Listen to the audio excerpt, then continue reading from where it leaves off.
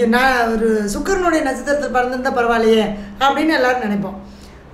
சுக்கரனோட நட்சத்திரத்தில் பிறந்தவங்க என்ன நினைப்பாங்க? சூரியனோட நட்சத்திரத்தில் பிறந்திருந்தால் பரவாயில்லையே நாங்கள் வந்து நல்லா வாழ்ந்திருப்போமே அப்படின்னு நினைப்பாங்க. அப்படி இல்லை நம்ம ஒவ்வொருத்தரும் அந்த கிரகத்தினுடைய சாபம் கர்மா இருந்தால் மட்டுமே அந்த நட்சத்திரத்தில் நம்ம பிறப்போம். சரிங்களா? அதாவது நம்ம முற்பிறவியில் முடிவு. நம்மளுடைய அந்த என்ன திசை நடக்குதோ அந்த திசையோட முடிவில் இறக்கும்போது மீண்டும் அந்த ஆத்மா பெறப்படுக்கும் போது அந்த திசை வந்து பார்த்திங்க அப்படின்னா அந்த நட்சத்திரத்தில் மீண்டும் அந்த உயிர் ஜனிக்குது அப்படிங்கிறத முன்னோர்கள் சொல்லியிருக்காங்க. நமக்கு தெரியாது நம்ம என்ன இறந்து பார்த்து நம்ம பிறந்து பார்த்து முன்னாடி இறந்ததும் பின்னாடி பிறந்ததும் நமக்கு ஞாபகம் வந்தால் தானே சொல்ல முடியும். சொல்லியிருக்காங்க. அதனால சொல்ல வர அதான் அதாவது நட்சத்திரம் வந்து ஒரு மூணு பாதம் கழித்து நாலாவது பாதத்தில் பிறந்தாங்க அப்படின்னா கர்ப்பத்தில் சென்றது போக நின்றது இருப்பு அப்படின்னு சொல்லி சொல்லுவாங்க இல்லையா? அதுதான் இந்த கணக்கு. இது என்ன அப்படின்னு பார்த்தீங்கன்னா நம்ம நட்சத்திரங்கள். நட்சத்திரங்கள் இருபத்தேழு நட்சத்திரம் இருக்குது நமக்கு அது எல்லாருக்குமே தெரியும். ஒவ்வொரு நட்சத்திரமும் எந்த கிரகத்தினுடைய சாபம் பெற்று வந்திருக்கு? அதுக்கான பரிகார ஸ்தலங்கள் என்ன அப்படிங்கிறதான் நம்ம இந்த பதிவில் பார்க்க போகிறோம் சரிங்களா? இப்போ வந்து நவகிரகம் அப்படிங்கிறத நம்ம என்ன சொல்ல ஒம்பது கிரகங்கள். ஒன்பது கிரகத்தையும் தான் நம்ம நட்சத்திரங்களுக்கு இருபத்தேழு நட்சத்திரமாக பிரிச்சிருக்கு. அதாவது அஸ்வினி மகம் மூலம் அப்படின்னா கேதுகுடைய நட்சத்திரம். அதாவது பரணி பூரம் பூராடம் அப்படின்னா சுக்கரனுடைய நட்சத்திரம். அப்படி நம்ம வந்து ஒன்பது கிரகமும் ஒன் இருபத்தேழு நட்சத்திரங்களாக நமக்கு இருக்குது சரிங்களா? அப்போ இந்த ஒன்பது கிரகம் அப்படிங்கிறது என்ன? அப்படின்னா இந்த ஒன்பது கிரகம் அப்படிங்கிறது தான் ஒன்பது உறவு. ஒன்பது கிரகம் அப்படிங்கிற கிரகங்கள் அப்படிங்கிறது தான் ஒன்பது வகையான நம்மளுடைய உறவுகள்.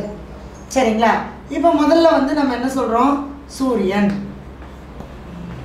ரெண்டாவது சந்திரன். இது வந்து பேசிக்காக தெரியாதவங்களும் தெரிஞ்சுக்கிறதுக்காக நான் வந்து எழுதுகிறேன் நிறைய பேர்த்துக்கு இதெல்லாம் எங்களுக்கு தெரியுமா? நீங்கள் அடுத்ததுக்கு போங்க அப்படின்னு நினைக்க வேண்டாம். பேசிக்காக இது வரைக்கும் அடிப்படையே எங்களுக்கு தெரியலன்னா ஒரு சாதாரண மக்கள் இதை பார்க்கும்போது கூட ஓ நான் இந்த நட்சத்திரத்தில் பிறந்திருக்கேன். இதனுடைய சாபம் தான் பெற்று வந்திருக்கேன். இந்த கிரகத்தினுடைய தன்மையில் தான் நான் இருப்பேனா? அப் அது அதன் மாதிரி தான் இரு செயல்படுவோமா? அப்படிங்கிறத அவங்க தெரிஞ்சுக்கணும் அப்படிங்கிறதுக்காக தான் இந்த பதிவு. சூரியன் சந்திரன் அடுத்தது வந்து செவ்வாய் புதன் குரு சுக்கிரன். சனி பகவான். ராகு கேது. இது ஒன்பது கிரகங்கள். இந்த ஒன்பது கிரகங்கள் தான் ஒன்பது உறவு. சூரியன்னா அப்பா. சூரியன்னா இருங்க அப்பா. அப்பா அப்பா இல்லாமல் இந்த உலகத்தில் எந்த உயிருமே பிறக்காது. அப்போ சூரியன் வந்தால் தான் அந்த அதாவது உயிர்கள் ஜனிக்கக்கூடிய அந்த அந்த அமிலம் அப்படிங்கக்கூடியது சுரக்கிறது. சூரியன் வந்தால் தான் சூரியன் இல்லை அப்படி வரல அப்படின்றப்ப என்னாகும்? அந்த பூ கூட மலராது. அதுதான் சூரியன் அணுக்களுக்கு கா அதாவது அணு பிறப்பு அப்படிங்கிறதுக்கு சூரியன் காரகன். அதனால சூரியன் அப்படின்னாலே அப்பா அப்படிங்கக்கூடிய உறவு. அடுத்தது சந்திரனா யாரு? அம்மா. அப்பா என்னதான் வந்து தனியாக இரு சூரியன் தனியாக இருந்தால் என்ன செய்யாதுங்க? கரு உருவாகாது. அப்போ தாய்ன்னு சொல்லக்கூடிய அந்த சந்திரன். அப்போ ஒரு நிலத்துல அந்த விதை விழுந்தா தான் அந்த விதை வந்து மரமாக அதாவது மரமாக பரிணாமம் செய்து வரும். அது மாதிரி இப்போ சந்திரன் அப்படிங்கிறது தாய். அப்போ அப்பா மட்டும் இருந்தால் உயிர் ஜனிக்க முடியாது. அப்போ தாய் அப்படிங்கக்கூடியவங்களும் சேர்ந்தா தான் அப்பா அம்மா ரெண்டு பேரும் சேர்ந்து பிறக்கக்கூடியது தான் அந்த குழந்தை. சரிங்களா? அடுத்தது செவ்வாய் அப்படின்னு பார்த்தீங்கன்னா சகோதர உறவு. அடுத்தது கணவன். பெண்ணுக்கு பார்த்தீங்க அப்படின்னா கணவன் உறவு. இது செவ்வாய். அடுத்தது புதன். புதன்னா மாமன். அதாவது தாய் வழி மாமன்கள். மாமன் சொல்லக்கூடிய உறவுகள் எல்லாமே புதனுக்கு காரகன். அடுத்தது குரு அப்படின்னா நம்மளுடைய முன்னோர்களும் குரு தான் குழந்தைகளும் நமக்கு குரு தான் குருனா யார்? நம்மளுடைய முன்னோர்கள். நம்ம முன்னோ முன் முற்ப அதாவது முன்னோர்கள் நமக்கு வழி வழியாக வரக்கூடிய முன்னோர்களும் குரு தான் குழந்தையும் குருவே. சரிங்களா? அடுத்தது சுக்கிரன். சுக்கிரன்னா என்ன? யாரு? மனைவி. ஆணுடைய ஜாதகத்தில் மனைவி. அடுத்தது வந்து பார்த்தீங்க அப்படின்னா பெண்கள். சுக்கரன்னா பெண்கள். உறவுல சகோதரி. மூத்த சகோதரி. அத்தை. சுக்கரனுக்கு மட்டும்தான் நிறையா இருக்கும் அத்தை சகோதரி மனைவி. ஆண்களாக இருந்தால் மனைவி பெண்களாக இருந்தால் அத்தை சகோதரி இது மாதிரி. அடுத்தது சனி அப்படின்னு பார்த்தீங்கன்னா இந்த சித்தப்பா பெரியப்பா அப்படின்னு சொல்லிட்டு பங்காளி வீடுன்னு சொல்லுவாங்க இல்லையா? எந்த ஒரு விசேஷம் இருந்தால் செஞ்சாலும் பங்காளி எல்லாம் செய்யக்கூடாது அப்படின்னு அது சனி பகவான். அப்போ சித்தப்பா பெரியப்பா அப்படின்னு சொல்லக்கூடிய இந்த பங்காளிகள் உறவை சொல்லக்கூடியது யார் அப்படின்னு பார்த்தீங்கன்னா சனி பகவான். அடுத்தது ராகு வந்து தாத்தா. அது தாய் வழியாக இருந்தாலும் சரி தந்தை வழியாக இருந்தாலும் சரி ராகு வந்து தாத்தா உறவை குறிக்கும். அதில் மெயின் வந்து பார்த்திங்கன்னா தந்தை வழியில் வரக்கூடிய இது ஃபஸ்ட்டு சொல்லும். அதுக்கப்புறம் அம்மாவுக்கு அதாவது நாலாம் பாவத்துக்கு ராகு எங்கே இருக்காரோ அது தாய் வழி உறவுகளை சொல்லும். அடுத்தது கேது. கேது வந்து பாட்டி. இப்போ இந்த ஒன்பது கிரகமும் எப்படி இருக்குதுங்க? ஒன்பது உறவாக இருக்குது அப்போ இந்த ஒன்பது உறவும் வந்து பார்த்திங்கன்னா நம்மளுடைய அந்த காலத்தில் நம்ம முன்னோர்கள்லாம் வாழ்ந்த காலத்துங்களில் பார்த்திங்கன்னா தாத்தா இருப்பாங்க பாட்டி இருப்பாங்க சித்தப்பா இருப்பாங்க பெரியப்பா இருப்பாங்க அத்தை இருப்பாங்க. எல்லாரும் இருப்பாங்க. அந்த உறவுகள் எல்லாமே சேர்ந்து வாழ்ந்தாங்க. அப்போ சேர்ந்து வாழும்போது பார்த்திங்க அப்படின்னா ரொம்ப அழகாக அந்த குடும்பம் வந்து ஒருத்தருக்கு ஒருத்தர் அந்த அரவணைப்போட ஒருத்தருக்கு ஒருத்தர் உதவி செஞ்சு அந்த குடும்பத்தை கொண்டு போவாங்க. ஆனால் இன்றைய காலகட்டத்தில் பார்த்திங்க அப்படின்னா அது வழி வழியாக பங்காளி வந்துன்னா சொத்து பிரச்சனை. சொத்து வந்துச்சு அண்ணன் தம்பி சொத்துக்காக சண்டை போட்டு அந்த இது என்ன பண்ணிடுது? அந்த உறவு பிரிஞ்சு போயிடுது. அத்தை இருக்காங்க அப்பா சொத்தை கேட்குறாங்க அதனால் அத்தைக்கிட்ட சண்டை. மாமா இருக்காங்க அம்மா கிட்ட சண்டை. அதனால் மாமா கிட்ட பேசுறதில்ல. இந்த மாதிரி நம்ம இப்போ எங்கள் அப்பா எனக்கு சொத்து கொடுக்கல அதனால நான் எங்கள் அப்பாட்ட பேசுகிறதில்ல எங்கள் அப்பா எனக்கு வேண்டாம். எங்கள் அம்மா எனக்கு வந்து சரியாக கவனிக்கல. என்கிட்ட சரியாக பேச இது பண்ணலை என்னை வந்து சரியாக வளர்த்தல. நம்ம வந்து நம்மளுடைய அறிவுக்கும் திறமைக்கு நம்ம எதையோ செஞ்சுட்டு கடைசியில் அம்மாவை குறை சொல்லிடுது. எங்கள் அம்மா என்னை சரியாக வளர்த்தல. இந்த மாதிரி அந்த ஒவ்வொரு உறவுகளையும் படிப்படியாக படிப்படியாக இந்த மாதிரி சில கருத்து வேறுபாடுகள் வந்தனால என்ன ஆகி போச்சுன்னா இப்போ எல்லாமே உறவுகள் எல்லாமே தள்ளி நின்று போச்சு. அதனால தான் இப்போ நம்ம ஜாதகத்தை எடுத்துகிட்டு கிரகங்களை பிடிச்சி போயிட்டுருக்கோம் எந்த கிரகத்துக்கு போனால் நமக்கு என்ன நடக்கும்? எந்த கோயிலுக்கு போனால் நமக்கு பித்தம் தெளியும் அப்படின்னு நம்ம பார்க்குறோம். ஏன்னா இந்த ஒவ்வொரு உறவும் அந்த ஒவ்வொரு உறவின் சாபங்கள் தான் நம்மளுடைய கர்மாவாக கண்டிப்பாக நம்ம பிறப்போம். அதில் எந்த மாற்றமும் இல்லை. இப்போ இந்த பிரிவில் பார்த்திங்கன்னா அம்மாவை ரொம்ப நல்லா பார்த்துக்குவாங்க. ஆனால் அவங்க அம்மா கண்டுக்கவே மாட்டாங்க. போடா நீ என்னத்தை எனக்கு செஞ்ச? அப்படிம்பாங்க. ஏன் அப்படின்னா அவங்க முற்பிறவில் அந்த தாய் அப்படிங்கக்கூடிய அவங்ககிட்ட சாபம் வாங்கிட்டு வந்துட்டாங்க. அந்த தாய் வந்து பார்த்திங்க அப்படின்னா இவங்களுக்கு அந்த ஆத்மா சாபம் கொடுத்துருக்கு. அப்படிங்கிறப்ப இந்த பிறவியில் என்னதான் நீங்கள் அம்மாவுக்கு செஞ்சீங்கனாலும் அம்மா நாட் சாட்டிஸ்ஃபைடு எல்லாம் பையன்கிட்ட எல்லாம் வாங்கிக்குவாங்க. கொடுக்குறதெல்லாம் பொண்ணு கொடுப்பாங்க. அந்த மாதிரி இருக்காங்க. அதே மாதிரி பெண்ணாக இருக்காங்கன்னு வச்சுங்களேன் தாய் அந்த சந்திரனுடைய சாபம் இருந்தால் என்னதான் அம்மாவுக்கு இந்த பொண்ணு நல்லா உருகி உருகி எல்லாம் பார்க்கும் கணவன் கூட முக்கியம் இல்லைன்னு சொல்லிட்டு தாய் தான் முக்கியம்னு எல்லாம் பார்ப்பாங்க. கடைசியில் அவங்க அம்மா என்ன பண்ணுவாங்க? இங்கே பொண்ணுக்கிட்ட வாங்கி பையன்கிட்ட கொடுப்பாங்க. இந்த மாதிரி நிறையா இருக்குது ஏன்னா அந்த உறவு நம்மளை கஷ்டப்படுத்துறதுக்காக தான் நம்ம இந்த பிறப்பில் பிறந்திருக்கோம். சரிங்களா? இப்போ என்ன சாபத்தில் எந்தெந்த கிரகம் அதாவது எந்தெந்த நட்சத்திரம் எந்தெந்த கிரகத்தினுடைய சாபம் பெற்று வந்திருக்கு? அது எப்படி எப்படி வந்து நமக்கு வந்து நம்மளுடைய லைஃப்பில் பாதிப்பு கொடுக்குது. அதுக்கு நம்ம எந்த ஆலயத்துக்கு போனால் அந்த பாதிப்புலேருந்து நிவர்த்தி ஆகும்? ஆலயத்துக்கு மட்டும் போகிறது பார்த்தாது அந்த உறவுக்கான அந்த மரியாதையும் அந்த உறவுக்கான என்ன பண்ணணுங்க? அவங்களுக்கு ஒரு நம்ம வந்து அவங்களுக்கு வந்து நம்ம என்ன செய்யணும்? மானசீகமாவது அவங்கக்கிட்ட நம்ம மன்னிப்பு கேட்கணும். சரிங்களா? இப்போ நம்ம தெரிஞ்சுக்கலாம். இருபத்தேழு நட்சத்திரத்தில் பிறந்தவங்க யா எந்த கிரகத்தினுடைய எந்த உறவுடைய நம்ம சாபத்தை வாங்கிட்டு வந்திருக்கோம் அப்படின்னு. சரிங்களா? இப்போ அடுத்தது ரோகிணி நட்சத்திரம் சரிங்களா? ரோகிணி வந்து பார்த்தீங்க அப்படின்னா சந்திரனுடைய நட்சத்திரம். இந்த ரோகிணி நட்சத்திரம் பார்த்தீங்க அப்படின்னா புதனுடைய கர்மாவை கொண்டு வந்த நட்சத்திரம் புதனுடைய சாபம். சாபம்னாலும் கர்மானாலும் ரெண்டும் ஒன்று தாங்க அவங்களுடைய மனசு இப்போ பெத்த தாய் என்றைக்குமே குழந்தைய வந்து சபிப்பாங்களா? கண்டிப்பாக அவங்க சாபம் கொடுக்கவே மாட்டாங்க. பையன் என்னதான் பண்ணாலும் என்னதான் அம்மா திட்டினாலும் அந்த மனசார வந்து அவங்க வந்து அந்த இது செய்ய மாட்டாங்க. ஆனால் அந்த அவங்களுடைய மனசு வலிக்கிற மாதிரி பையன் நடந்துக்கிட்டா கண்டிப்பாக அந்த மனசு தான் அந்த நினச்சாலே அது சாபமாக மாறிடும். அதுக்கு தாங்க கல்யாணத்தில் பாத பூஜை பண்ண சொல்கிறாங்க நிறைய பேர்த்துக்கு நான் இதை கேட்குறேன். நிறைய பேர்த்துக்கு இது தெரியறதில்ல. ஏன் வந்து கல்யாணத்தன்னைக்கு பாத பூஜை பண்ண சொன்னாங்க? நம்ம முன்னோர்கள் அது ஒரு சம்பிரதாயமாகவே வச்சுருந்தாங்க. ஏன் வச்சுருந்தாங்க அப்படின்னு கேட்டிங்கன்னா யாருக்குமே அது தெரியாது. தெரியறதில்லைன்னு நிறைய பேர்த்துக்கு தெரிஞ்சிருக்கலாம். நிறைய பேருக்கு வந்து அது தெரியாமையே பண்ணிகிட்ருக்காங்க என்னமோ சொல்கிறாங்க எங்கள் அப்பா சொன்னாங்க நான் செய்கிறேன் அப்படின்னு. அப்படி கிடையாதுங்க. ஏன் அப்படின்ட்டு தெரிஞ்சுக்கோங்க. ஏன்னா இந்த உலகத்தில் நம்ம வர்றதுக்கு காரணம் யாருன்னா அம்மாவும் அப்பாவும் தான். இந்த இருபத்தஞ்சி வயசு வரைக்கும் வளர்த்தும் போது ஏதாவது ஒரு பேசாமையே இருப்பாங்க. நீ அப்படி ஆயிடுவா இப்படி ஆயிடுவா திட்டுறது. அந்த கோபத்தில் வந்து நீ எல்லாம் எங்கே போய் நல்லா இருக்க போகிற நீ எல்லாம் எங்கே வேலைக்கு போக போகிற நீ எல்லாம் எங்கே கல்யாணம் பண்ண போகிற இப்படி சொல்லக்கூடிய அந்த வார்த்தைகள் கண்டிப்பாக அவங்களுடைய வாழ்க்கையை பாதிக்கும். அதனால் முடிஞ்ச வரைக்கும் பெற்றவங்க குழந்தைங்கள நெகட்டிவாக எந்த ஒரு விஷயத்தையுமே சொல்லாதீங்க. ஏன்னா நீங்கள் இன்றைக்கி சொல்லியிருக்க மாட்டீங்க. ஒரு பத்து வருஷத்துக்கு முன்னாடி அந்த குழந்தை குழந்தையா இருக்கும்போது நம்ம சொல்லியிருப்போம். அது அவங்க வயல் வ வளர்ந்து அவங்க வயசுக்கு வரும்போது வயசு வரும்போது அந்த ஸ்டேஜ் அவங்க வந்து தடை பண்ணி கொடுக்கும்.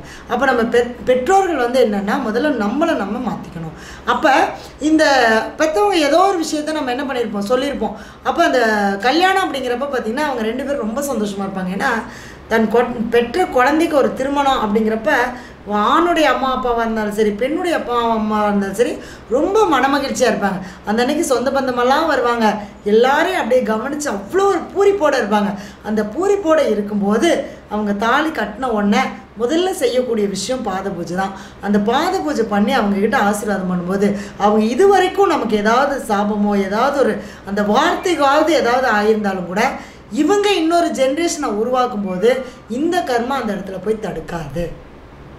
அதனால் இவங்களுக்கு வந்து ஈஸியாக குழந்த பிறப்பு இருக்கும். அந்த குழந்தைங்க நல்லா இருப்பாங்க. குழந்தைங்க வாழ்க்கை நல்லா இருக்கும். இப்படி ஏன்னா அந்த கர்மாங்கிறது இதோடவே அவங்கள இந்த பாத பூஜை பண்ணி ஆசீர்வாதம் பண்ணிட்டா அவங்களோட இது முடிஞ்சுது. அப்போ அந்த அன்னைக்கு அவங்க ஆணும் பெண்ணும் அதாவது கணவன் மனைவியும் ஒரு புதுசாக தம்பதிகள் சேரும்போது அவங்களுக்கு பிறக்கக்கூடிய குழந்தை இந்த கர்மாவை கொஞ்சம் சுமந்துட்டு வராது. அதுக்கு தான் பாத பூஜை பண்ண சொல்கிறது நிறைய பேர்த்துக்கு தெரியறதில்ல. அப்போ ரோகிணி வந்து பார்த்திங்க அப்படின்னா புதனுடைய சாபம் பெற்ற நட்சத்திரம். அப்போ இந்த புதனுடைய கர்மாவை சொ சொல்லக்கூடியது என்ன அப்படின்னு பார்த்தீங்கன்னா ரோகிணி வந்து ரிஷபராசியில் இருக்கு. அப்போ புதன் யார் அப்படின்னு பார்த்தீங்கன்னா ரெண்டுக்கும் அஞ்சுக்கும் உடையவர். அதாவது ரிஷபராசிக்கு புதன் யார் அப்படின்னா ரெண்டாம் இடத்துக்கும் ஐந்தாம் இடத்துக்கும் உடையவர் இவங்க பார்த்தீங்கன்னா இந்த ரோகிணி நட்சத்திரத்தில் பிறந்தங்க தாய் மாமன் உறவு அப்படிங்கிறது எப்பவுமே இவங்களுக்கு ஒரு சப்போர்ட்டாக இருக்காது. எல்லாம் சொல்லுவாங்க தாய்க்கு பின் தாய் மாமன் உறவு அப்படின்னு சொல்லிட்டு. ஆனால் அந்த தாய் மாமன் உறவை இவங்களால என்ன பண்ண முடியாதுங்க? அனுபவிக்க முடியாது. அனுபவிக்க முடியாதுன்னா எப்படி? ஒன்று சண்டை போட்டுருவாங்க. சண்டை போட்டு இவங்க பிறந்தோடனே சண்டை போட்டு அவங்க மாமா வந்து எந்த சீருமே செய்கிறதுக்கு மொட்டை அடிக்கிறதுக்கு கூட தாய் மாமா மடியில் வச்சு மொட்டை அடிக்க மாட்டாங்க. கூப்பிட மாட்டாங்க. அதெல்லாம் ஒரு சம்பிரதாயம். நம்ம முன்னோர்கள் அவ்வளோ அழகாக ஒவ்வொரு விஷயமும் சொல்லிட்டு போயிருக்காங்க. இதை பற்றி பேசணுன்னா நிறைய பேசலாம். சப்ஜெக்டில் பேசுவோம் அப்புறமா பேசுவேன் அப்போ ரெண்டு அஞ்சு குடைவர் அப்படிங்கிறப்ப என்னென்னா அந்த தாய் மாமன் உறவு பாதிக்கப்படும். அடுத்தது நரம்பு சார்ந்த பிரச்சனைகள் கண்டிப்பாக வரும். அடுத்தது என்ன அப்படின்னா இந்த பத்திரம். இவங்களுக்கு பார்த்திங்கன்னா நல்ல சொத்தாகவே வாங்கினாலும் கூட அந்த பத்திரத்தில் ஏதாவது ஒரு வில்லங்கம் இருக்கும். அதே மாதிரி அந்த பத்திரத்தை எங்கேயாவது கொண்டு அடமானம் வச்சாங்க அப்படின்னா அந்த பத்திரத்தை திரும்ப முடியாது. அந்த மாதிரியெல்லாம் இந்த பிர இந்த புதனுடைய கர்மாவாகப்பட்டது அவங்களுக்கு அந்த பாதிப்பை கொடுக்கும். அடுத்தது படிப்பு. நல்லா படிச்சிருப்பாங்க. ஆனால் படிப்பு கேட்ட வேலைக்கு போக முடியாது. புதன்னா அறிவு திறமை புத்திசாலித்தனம். அள- அளவுக்கு அதிகமாக இருக்கும். ஆனால் என்ன பண்ண முடியாதுங்க? அதை அனுபவிக்க முடியாது. இவங்க அனுபவிக்க முடியாது. இவங்க அதை வச்சு யூஸ் பண்ணவே முடியாது. நல்லா படிச்சிருப்பாங்க. ஆனால் படிப்பு கேட்ட படிப்புக்கு தகுந்த வேலைக்கு போக மாட்டாங்க. இவங்க பிஹெச்டி பண்ணியிருப்பாங்க சாதாரண ஒரு இடத்துல வேலைக்கு போயிட்டுருப்பாங்க அந்த மாதிரி. ஓ அந்தந்த அந்த ஸ்டே அந்த அந்த படிப்புக்கு உண்டான அங்கீகாரமும் அந்த படிப்புக்கு உண்டான அதை அனுபவிக்கவும் இவங்களால் முடியாது. அப்போ இவங்களுடைய அறிவை இவங்க பயன்படுத்த முடியாது. அந்த மாதிரிலாம் நிறையா இந்த புதனுடைய காரகத்துவம் எல்லாமே அவங்களுக்கு பாதிப்பை கொடுக்கும். அடுத்தது ரெண்டு அஞ்சு அப்படிங்கிறப்ப என்னென்னா பணம் குடும்பம். அதாவது இவங்களுக்கு குடும்பம் அமையிறதுல ஒரு பிரச்சனையை கொடுக்கும். அதே மாதிரி இவங்க மனசுக்கு பிடிச்ச மாதிரி ஒரு குடும்ப வாழ்க்கை அப்படிங்கிறது ஒரு இருக்காது. அடுத்தது அப்படி மனசுக்கு பிடிச்ச மாதிரி ஒரு குடும்ப வாழ்க்கை இருந்தால் என்ன ஆகும் அப்படின்னா அதுவே இவங்களுக்கு ஒரு சாபமாக போயிடும் கல்யா காதலிச்சு கல்யாணம் பண்ணிக்குவாங்க. கல்யாணம் பண்ணி குழந்தை பிறந்ததுக்கப்புறம் ரெண்டு பேரும் ஒரே வீட்டில் தனித்தனியாக இருப்பாங்க. இதெல்லாம் நிறைய இருக்குது ஏன்னா அஞ்சாம் இடம் என்பது காதல் அஞ்சாம் இடம் என்பது மனசு. அப்போ இந்த ஐந்தாம் இடம் சொல்லக்கூடிய அந்த புதனுடைய கர்மாவை வாங்கிட்டு வந்ததுனால இவங்க காதலிச்சாலும் அந்த காதலி ஏமா அந்த அந்த காதல் ஏமாற்றத்தை கொடுக்கும். அடுத்தது மனசு வலியை கொடுக்கும். அடுத்தது பொருளாதாரம் பணம் எவ்வளோ சம்பாரித்தாலும் என்ன பண்ண முடியாதுங்க. யாரோ ஒருத்தர்கிட்ட ஏமாந்துக்கிட்டே இருக்கிற மாதிரி இருக்கும் இப்போ ஒருத்தர்கிட்ட இப்போ நம்பி பணம் கொடுப்பாங்க. ஒரு பத்தாயிரரூபா கொடுப்பாங்க. அந்த பத்தாயிரரூபாய் திருப்பியே வாங்க முடியாது. கையிலேருந்து காசு கொடுத்தா ஏன்னா ஏற்கனவே அந்த அதுதான் நம்மளுடைய கர்மா. அப்படிங்கிறப்ப நம்ம டே இது என்ன பண்ணுறோங்க நம்ம யார்கிட்டயா வாங்கினதை வட்டி கட்டிகிட்டு இருக்கோம். இது மாதிரியான விஷயங்கள் எல்லாம் இந்த ரிஷபராசி ரோக நட்சத்திரத்தில் பிறந்தவங்களுக்கு இந்த பாதிப்பை கொடுக்கும். சரிங்களா? இவங்க என்ன பண்ணோம் அப்படின்னு கேட்டிங்கன்னா காஞ்சிபுரத்தில் இருக்கக்கூடிய பாண்டதூத பெருமாள். காஞ்சிபுரத்தில் பாண்டதூத பெருமாள். உண்மையாக வந்து பார்த்திங்கன்னா இந்த நட்சத்திர கோயில்கள்லாம் வந்து ரொம்ப சிறப்பு அற்புதமான இந்த ஸ்தலங்கள். இந்த ஸ்தலங்களுடைய வரலாறெல்லாம் நீங்கள் எடுத்து பார்த்தீங்க அப்படின்னா ரொம்ப சூப்பராக இருக்கும். அந்த ஏன் அந்த இடத்துல அந்த நட்சத்திரத்துக்கு அந்த இடத்துல ஒரு பவரு அந்த இடத்துக்கு போயிட்டு வந்தால் ஏன் அந்த நட்சத்திரத்துடைய கர்மா நிவர்த்தி ஆகுது? அந்த கோவிலுடைய வரலாறு என்ன அப்படின்னு சொல்லிட்டு அவங்கவுங்க நட்சத்திரத்துக்கு உண்டான கோவில்களுடைய வரலாறையாவது நீங்கள் கண்டிப்பாக தெரிஞ்சுக்கிட்டு அதுக்கப்புறம் கோயிலுக்கு போங்க. இப்போ நீங்கள் ஒரு கோயிலுக்கு போகிறீங்க அப்படின்னா அந்த கோயிலை பற்றி முதல்ல ஏன்னா இன்னைக்கு அந்த காலத்தில் நமக்கு எந்த ஒரு வசதியும் இல்லை. அதனால நமக்கு தெரியாது. இப்போ திருப்பதினா நமக்கு என்னன்னே தெரியாது. சும்மா எங்கள் அம்மா போனாங்க நான் போனேன். எங்கள் தாத்தா போனாங்க எங்கள் அப்பா போனாங்க நான் போகிறேன் ஆனால் இன்றைக்கி அப்படி இல்லை. அந்த திருப்பதியில் என்ன விஷயம் இருக்குதுன்ற வரைக்கும் நமக்கு கையில் ஃபோன் இருக்குது நெட்டில் போட்டால் வந்துட போகுது. அதே மாதிரி அந்த ஒவ்வொரு நட்சத்திரத்துக்கு உண்டான கோயிலுடைய வரலாறு முதல்ல படிங்க. அங்கே என்ன ஒரு முக்கியமான ஸ்பெஷல் இருக்குது அது அந்த இடத்துல எந்த இடத்துல அந்த ஸ்பெஷல் இருக்குது இதெல்லாம் நீங்கள் அதை படிச்சுட்டு அதுக்கப்புறம் நீங்கள் அந்த வரலாறை தெரிஞ்சுக்கிட்டு நீங்கள் அந்த கோயிலுக்கு போயிட்டு வரும்போது உங்களுடைய நட்சத்திரமும் அந்த இடமும் உங்களுக்கு கனெக்ட் ஆகி உங்களுக்கு அதனுடைய கர்மாவானது நிவர்த்தி ஆகும் சரிங்களா? அப்போ ரோகி நட்சத்திரத்தில் பிறந்தவங்க காஞ்சிபுரத்தில் பாண்டத்தூத பெருமாள் கோவிலுக்கு போகணும். அடுத்தது புதனுடைய ஸ்தலமான திருவெண்காடு மயிலாடுதுறையில் எப்போ போகணும் அப்படின்னா ஏன்னா புதுசாக பார்த்துட்டீங்க இருந்தீங்க அப்படின்னா நான் முதல்ல சொல்லிட்டேன் எப்போ போகணும்னு. இப்போ சொல்கிறேன் அவங்க அவங்க பிறந்த மாதத்தில் வரக்கூடிய ஜென்ம நட்சத்திரம் அதாவது ரோகிணி நட்சத்திரத்தன்னைக்கு தான் போகணும். வருஷத்தில் ஒரு முறை போயிட்டு வந்தீங்கன்னா போதும். எப்படி பிறந்தநாள் வந்தால் நம்ம என்ன பண்ணுவோம்? இந்த பிறந்தநாள் அந்த மாதம் வருது இல்லையா?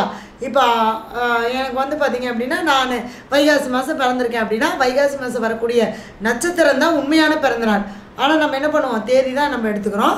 இந்த நட்சத்திரத்தை எடுத்துக்கிறோம் அட்லீஸ்ட் அந்த நட்சத்திரத்தன்னைக்கு இந்த நட்சத்திர கோயிலுக்கு நீங்கள் போயிட்டு வரும்போது கண்டிப்பாக உங்களுக்கு லைஃப்பில் நிச்சயமாக ஒரு மாற்றம் கண்டிப்பாக உண்டு. ஏன்னா நான் அதெல்லாம் வந்து நிறைய அனுபவித்து நிறைய பேர்த்துக்கு கொடுத்து அவங்க ஆரம்ப ஸ்டேஜில் நிறையா மாற்றங்களை வந்து நம்ம ஒவ்வொன்றுக்கும் போகும்போது கண்டிப்பாக ஏங்கம்மா நீங்கள் இன்றைக்கி நட்சத்திர கோயில் சொன்னீங்க அன்றைக்கி திதி கோயில் சொன்னீங்க நூற்றி எட்டு பார்த்து கோயில் சொல்கிறீங்க நாங்கள் எதுக்கெல்லாம் கோயிலுக்கு போகிறது அப்படின்னா கண்டிப்பாக நம்ம போய்த்தான் ஆகணும். ஒம்பது கிரகத்துக்கும் கோயில் இருக்குது ஒம்பது கிரகத்துக்கும் போய்த்தான் ஆகணும். ஏன்னா நம்ம ஒவ்வொரு கிரகமும் ஒவ்வொரு நட்சத்திரத்தில் இருக்குது இல்லையா? இன்னும் இதை இன்னும் டீப்பாக எடுத்தீங்கன்னு வச்சுங்களேன் இந்த ரோகிணி நட்சத்திரத்தில் ஒரு கிரகம் இருந்தால் அந்த கிரகம் உங்கள் ஜாதகத்துக்கு எத்தனாம் பாவமாக வருதா அந்த பாவகம் சார்ந்து உங்களுக்கு ஒரு பிரச்சனை இருக்கும். அப்போ என்ன பண்ணணுன்னா அந்த நட்சத்திரத்துக்கு உண்டான கோயிலுக்கு நீங்கள் போயிட்டு வரணும். இது இன்னும் போனால் இன்னும் நான் இன்னைக்கு நாள் ஃபுல்லாக பேசினாலும் கூட இதை நம்மளால் முடிக்க முடியாது. இப்போ நான் இருபத்தேழு நட்சத்திரத்தை சொல்லிடுறேன். அடுத்து ஒரு சும்மா ஒரு ஒரு விளக்கம் மட்டும் நான் கொடுத்துறேன். எப்படி அப்படிங்கிறது. மாதிரி ஒம்பது கிரகமும் ஏதோ ஒரு நட்சத்திரத்தில் தான் நிற்கும் புரியுதுங்களா? இது நம்ம பிறந்தது. இப்போ நம்ம பிறந்ததனுடைய கர்மாவை நம்ம அனுபவிக்கிறோம் சரிங்களா? இப்போ ஒவ்வொருத்தருமே ஒரு கர்மா இல்லைன்னா நம்ம பிறக்க மாட்டோம் இல்லையா? அந்த மாதிரி. அப்போ ஒவ்வொரு கிரகமும் அந்த நட்சத்திரத்தில் நிற்கும் போதும் அது பாதிப்பு கொடுக்கும். இப்போ ஒன்றும் வேண்டாங்க. ரோகிணியில் புதன் நிற்குதுன்னு வச்சுக்கோங்களேன். ரோகிணியில் ரோகிணி நட்சத்திரத்தில் உங்களுடைய ஜாதகத்தில் புதன் நிற்கிறார் அது உங்கள் லக்னத்துக்கு எந்த பாவமாக வேணாலும் இருந்துட்டு போகிறார் நீங்கள் இந்த ரோகிணி நட்சத்திரத்துக்கு இந்த கோயிலுக்கு போயிட்டு வாங்க. அந்த பாவம் சார்ந்த பிரச்சனை உங்களுக்கு சால்வ் ஆகும். ஒருவேளை இது பத்தாம் பாவமாக இருக்குது எனக்கு தொழிலில் பிரச்சனையாகவே இருக்குது அல்ல பத்தாம் பாவ அதிபதி புதன் ரோகிணியில் போய் நிற்கிறாரு இந்த கோயிலுக்கு போயிட்டு வாங்க. கண்டிப்பாக நிவர்த்தி ஆகும். இது வந்து இன்னும் நம்ம டீப்பாக போகும்போது அவங்க அவங்களுடைய ஜாதகத்தில் பார்க்குறது.